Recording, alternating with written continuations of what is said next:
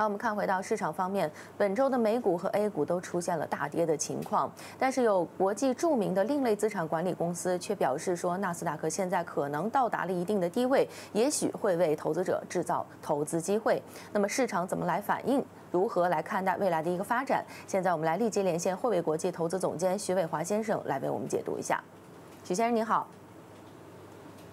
哎，主持人你好。嗯，好，我们首先就是先看到政策方面啊，国际银行已经向北京表达了一个担忧，表示说中国企业海外上市制度进行全面改革，新框架尚不清晰，那么可能会加大他们的一个监管风险和成本，可能也会导致像这些呃无法再为呃一些公司就是咨询公司无法再为中企赴海外 IPO 来提供咨询，这也将会危及支撑部分中国最知名企业的一个资金来源的问题。那就您的观察。市场当前对于这个呃海外上市的新规的政策是如何反应的？而资金方面会不会真的成为一个担忧的问题呢？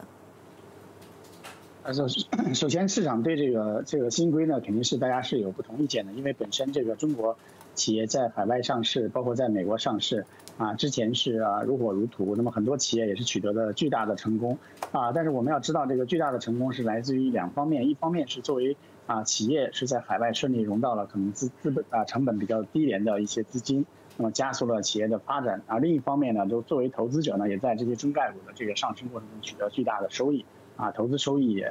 也不菲。所以说从这个方面来看，是一个双赢的结果。那么现在随着监管的这个风险越来越多啊，不管是来自于美国方面，还是说来自于中国方面，啊，那么肯定对这个市场会产生影响。啊，正如这个呃，IMF 讲到，可能这个以后一些做审计的、做财务的，包括做上市 IPO 的，那么投资银行等等，都可能会在这个啊过过去的很大一块业务上受到打击。那么这个肯定不是市场所希望见到的啊。但是另一方面，我们也要看到这个事情的发展呢，实际上也是多方啊共同共同作用的一个结果。不可以说是说企业啊从此以后受到这个中国的一些监管就会出现啊投资资金会出现问题。我们认为这个是。非常片面的一个看法。从另一方面看，也可以看到，可能有很多投资者想投入这样一个啊资产类别，想投入这样一个啊啊一个一个特定的行业，恐怕也会受到影响，恐怕都无法取得之前那么好的收益。所以说，啊从各方面来看的话，如果这个监管过度的话，是一个各方面都会输的一个结果。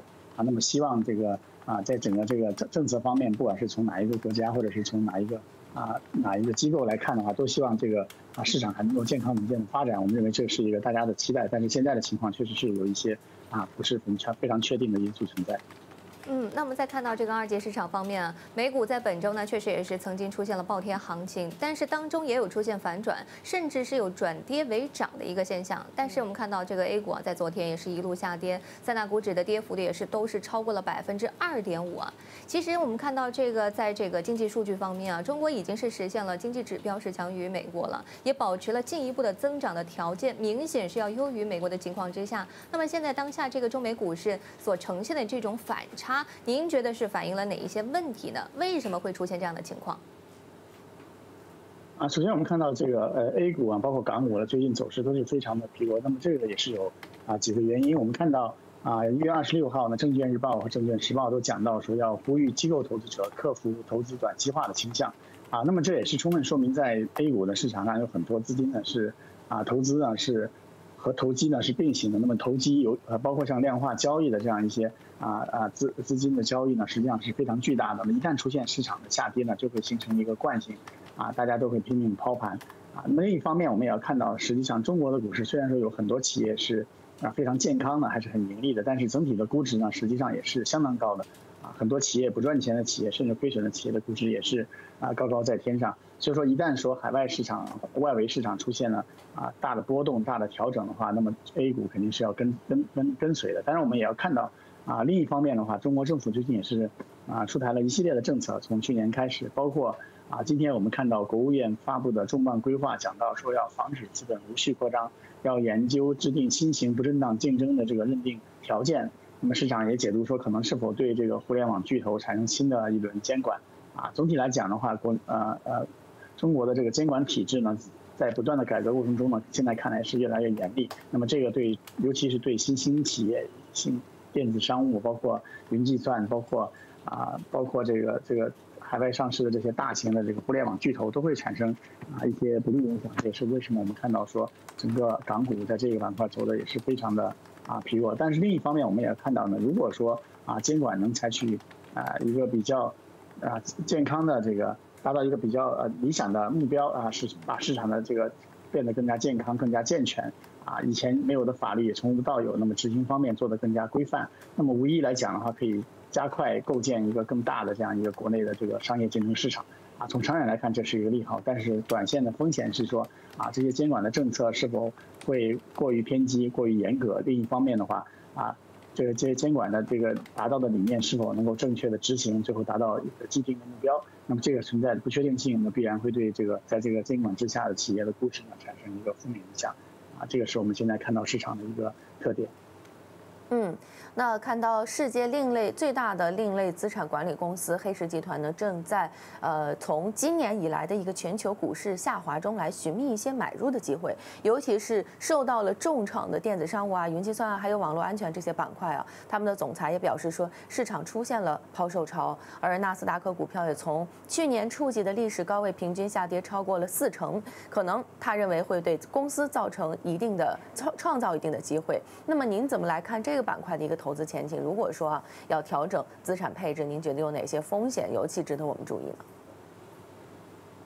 啊，首先我们要知道这个从这个资产管理的这个啊来看的话呢，他们这个资产管理的规模一直是在那边的。那么在这个资产管理的规模之间呢，恐怕要做呃要必必必然要定期做一些资产资产那个类别的调动啊，包括股票的话，可能之前卖掉的一些股票呢，现在可能还要要把它买回来，不可能说在资产管理公司持有大量的现金。啊，尤其是在现在高通胀以及说现金的持有成本是相当高的这样一个情况之下，所以说我们就可以看到说黑石呢必然是还需要去在资产配置方面呢调调控一些股票，那么可能说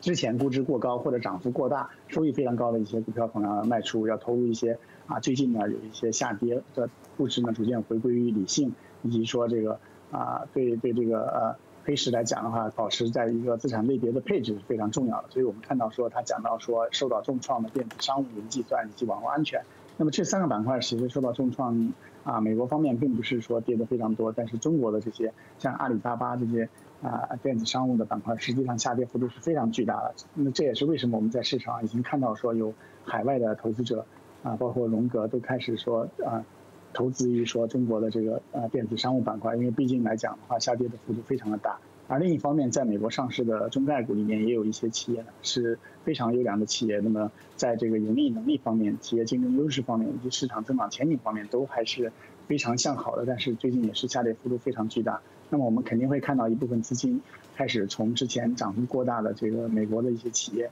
股票上面转移到新兴的这些啊中国。中国的这些啊受创的这些企业当中去，我们认为呢，这个资本的溢出效应呢，随着这个纳斯达克啊逐渐连绵不绝的下跌，恐怕这个资本溢出效应会逐渐显现。嗯，好的，今天我们非常感谢啊许先生这一时段呢为我们带来的很详细并且全面的解读，也非常感谢这段时间您与我们的电话连线。好的，我们也是先休息一会儿，广告过后马上回来。